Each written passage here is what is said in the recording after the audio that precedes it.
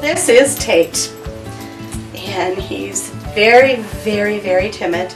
Uh, and he's come a long ways.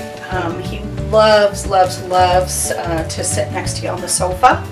Um, if you're reading or watching TV, um, he is housebroken. Um, he does not bark very much, which is pretty rare for a small dog. Um, and you can see that he's getting calm. He does this with his eyes. He gets so relaxed when you pet him that he just closes his little eyes and he'll, he'll sit here indefinitely. And um, he's just a really sweet, sweet little dog. And I really would love to see him in a home where somebody could spoil him rotten because he's obviously had a, a rough start in life and um, he deserves a great place.